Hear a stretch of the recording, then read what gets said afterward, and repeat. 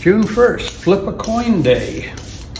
We have an electrotype from the Bill Gaylord collection of a gentleman that looks like he has just found a lucky coin and he's ready to flip a coin.